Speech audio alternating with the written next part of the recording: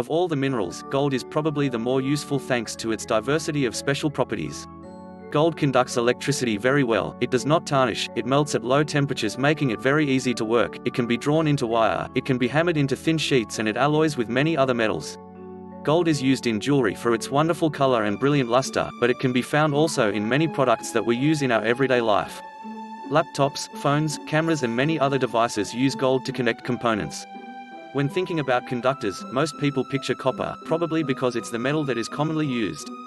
Silver is actually the best conductor, followed by gold. Silver, however, tarnishes quickly when in contact with air. Copper is cheaper than precious metals, but it's also much slower in transporting electrons. In the world of computing and communications, speed is more important than cost, so the use of gold has become a standard. The beneficial material properties of gold include outstanding resistance to corrosion, the ease with which it can be worked and high thermal and electrical conductivity. In conditions under which most other metals either tarnish or corrode away, gold remains inert and extremely durable. For electronic applications, the resistance of gold to environmental effects is perhaps its most important property as it assures that the technical performance of gold wires or gold electroplating remain essentially unaltered with time. In general, the more sophisticated the equipment and the greater the need for reliability, the greater is the requirement to exploit the advantages of gold as a material. This means that in telecommunications, computers, automotive electronics and defense systems where safety is critical, gold is indispensable. The importance of high quality and reliable performance justifies the high cost. Gold's many qualities make it the metal of choice for a wide variety of industries. Electronic parts. Electronic components made with gold are highly reliable. Gold is used in connectors, switch and relay contacts, soldered joints, connecting wires and connection strips. Edge connectors used to mount microprocessor and memory chips onto the motherboard and the plug and socket connectors used to attach cables all contain gold. The gold in these components is generally electroplated onto other metals and alloyed with small amounts of nickel or cobalt to increase durability. In phones, most of the gold is in the SIM card, the main board and the smaller components on the back of the LCD screen. Dentistry. Gold is being used for fillings, crowns, bridges and orthodontic appliances. Gold is a biocompatible metal, meaning it can be placed in contact with a person's body and not cause harm to one's health. It was much more generously used in dentistry up until the late 1970s. The sharp run-up of gold prices at that time motivated the development of substitute materials.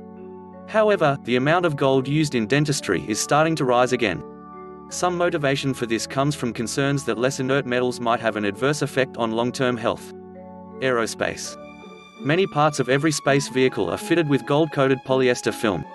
This film reflects infrared radiation and helps stabilize the temperature of the spacecraft. Without this coating, dark-colored parts of the spacecraft would absorb significant amounts of heat. Gold is also used as a lubricant between mechanical parts. In the vacuum of space, organic lubricants would volatilize and they would be broken down by the intense radiation beyond Earth's atmosphere. Gold has a very low shear strength, and a thin film of gold between critical moving parts serves as a lubricant. The gold molecules slip past one another under the forces of friction and that provides a lubricant action. The visor on the helmet of an astronaut's spacesuit is coated with a very thin film of gold.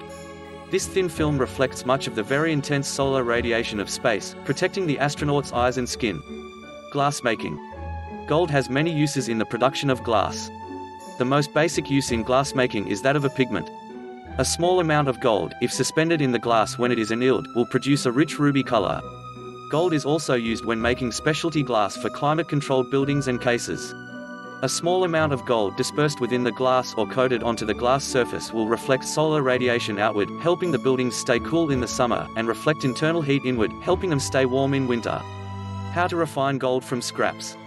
So just how much precious metal do you have gathering dust, and more importantly, what's the best way to take advantage of the possible gold mine at your fingertips? Electronic products are one of the bigger users of gold. There's a lot of obsolete electronics out there with TVs, computers, phones having lives of 5 years or less. The key is to remember that with the mass proliferation of electronic devices also comes the massive buildup of electronic waste. It's e-waste that can easily end up as a huge burden on the environment if each unit is not discarded properly. At the moment, more than 80% of e-waste ends up in landfills, making it a pretty serious environmental issue. In addition to this, most of the times, the gold is bound up with a lot of other hazardous chemicals so it's always a good idea to ask a professional precious metal refiner for help. The key ingredient to maximizing the obvious potential of electronic waste is proper recycling and extraction. According to the American Environmental Protection Agency, experts estimate that recycling 1 million cell phones can recover about 24 kilograms 50 pounds of gold, 250 kilograms 550 pounds of silver, 9 kilograms 20 pounds of palladium, and more than 9,000 kilograms 20,000 pounds of copper.